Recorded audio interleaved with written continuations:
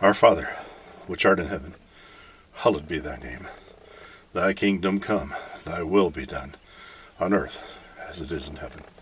And give us this day our daily bread, and forgive us our debts as we forgive our debtors. And lead us not into temptation, but deliver us from evil. For thine is the kingdom, the power, and the glory, forever and ever. Amen. Amen and amen. I am just the dust of the earth, and no one is beneath me.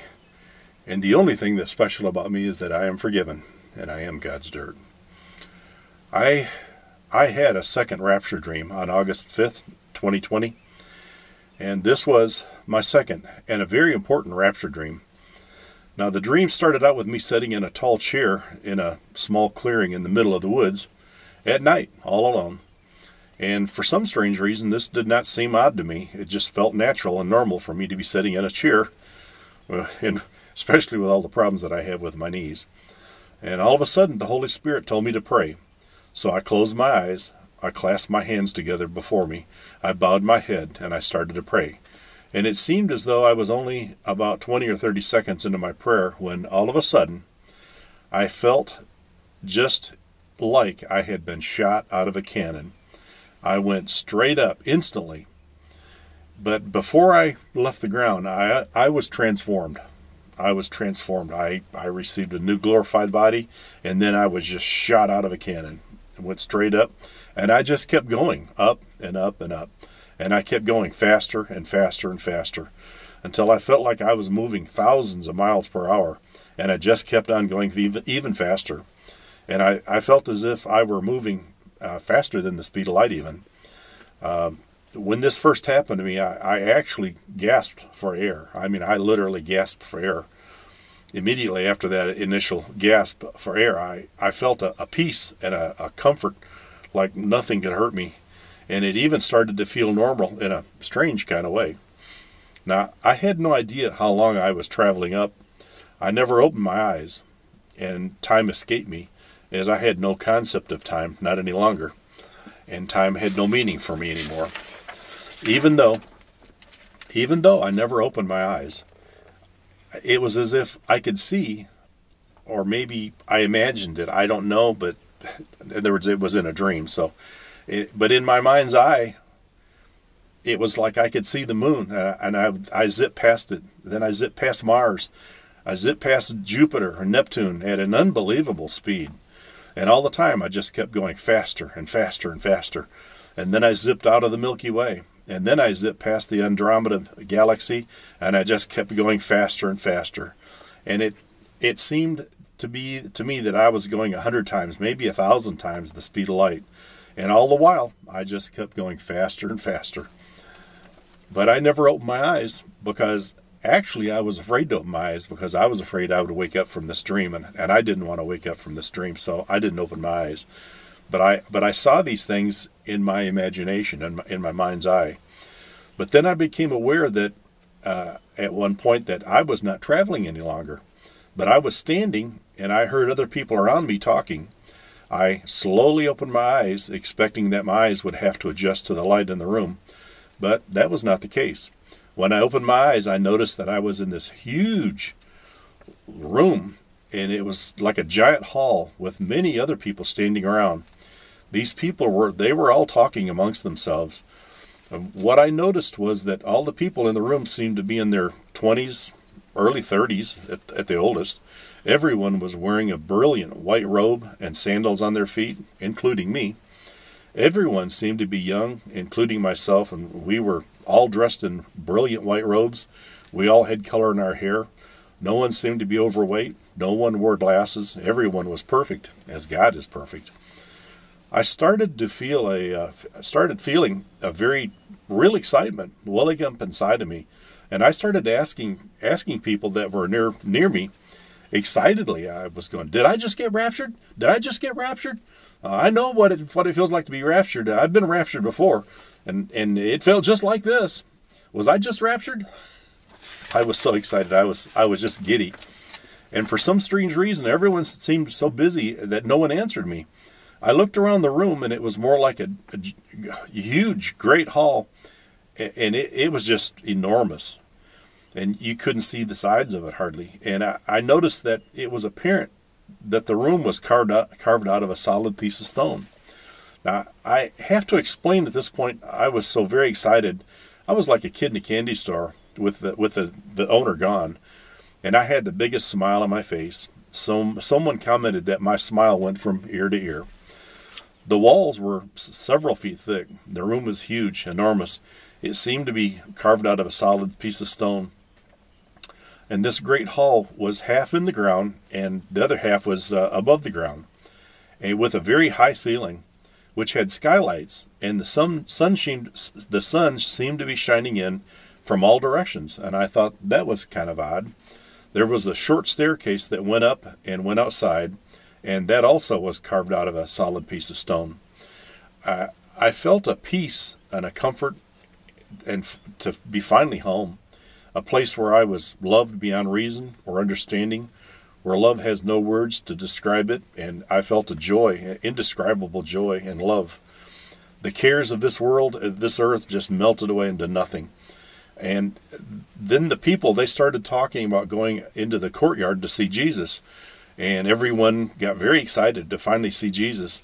And we all began moving up the uh, hand carved uh, staircase uh, out into the courtyard. But as I began to move, move up the staircase, I woke up. Home, a place you know, a place you belong, a place where you can finally find peace and rest and joy and love. Home, a place where you came from, and a place where you are returning to, a place called home.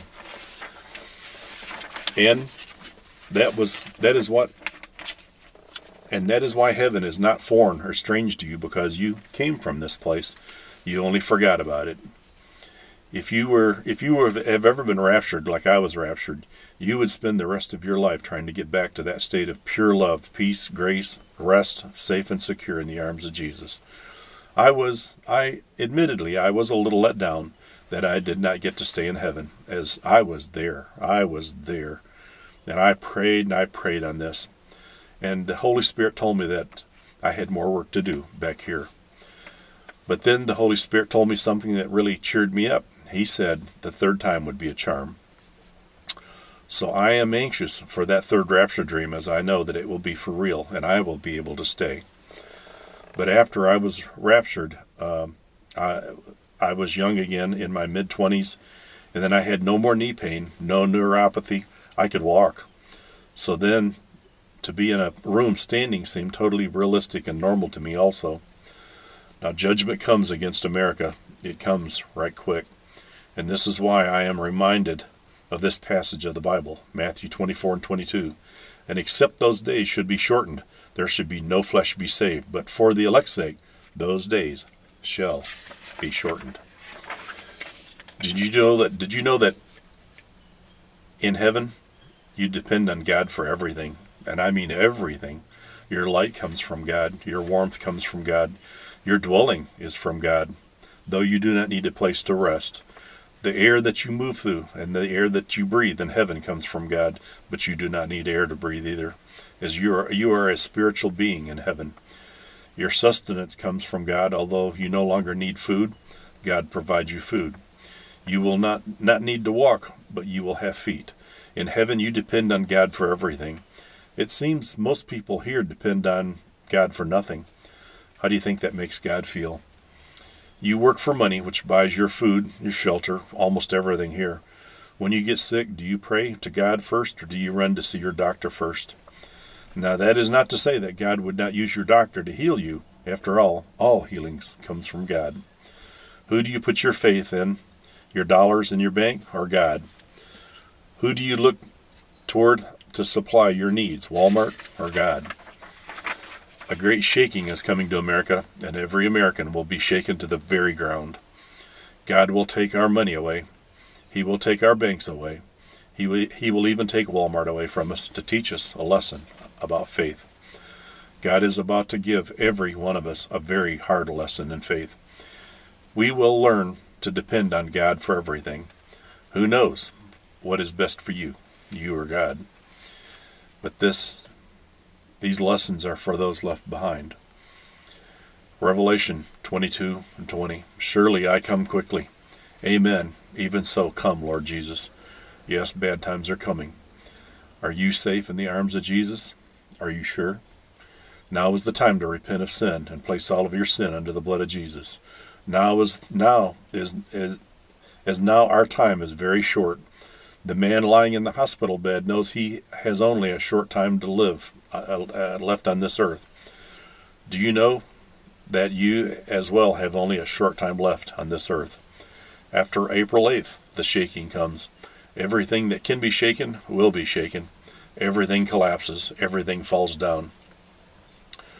Then you will see only Jesus can save anyone. But do not wait for that shaking to start because you may find you waited too late because you missed the rapture. And if you miss the rapture, you will see hell come to this earth. Now, God bless you and God keep you and yours safe in His loving arms, just like He held me. We are all family. We love you. We love you like family, and we pray for you like family. And every one of you have been a, have been a gift from God to us, and we thank God for sending you our way. And we will see you on the streets of gold one day, very, very soon in paradise. And we will see you there on that day with much love and more grace from above. Amen. Oh, Lord. Oh, Lord. Time is so short. We're going home, Lord. We're going home, Lord. Oh, Lord. Thank you, Lord. Thank you, Lord. Thank you, Lord. Oh, Lord, I give you all praise, all glory, all honor. Oh, Lord, for you are worthy. Only you are worthy, Lord. Only you are worthy, Lord, because you gave it all. You gave it all. You gave everything. You held nothing back. You held nothing back. You gave it all, Lord. So who are we to hold anything back from you, Lord? Who are we to hold anything back from you, Lord? Oh, Lord. Oh, Lord, I love you so much, Lord. I love you so much, Lord. Oh, Lord, thank you, Lord. Thank you, Lord for making me a watchman and giving me dreams and visions, and giving me a work to do in these last days. In these last days, Lord. In these last days. Thank you, Jesus. Thank you, Jesus. Thank you. Thank you, Jesus. Thank you, Jesus. Thank you, Jesus. Thank you, Jesus. Thank you, Jesus. Oh, Lord, thank you, Jesus.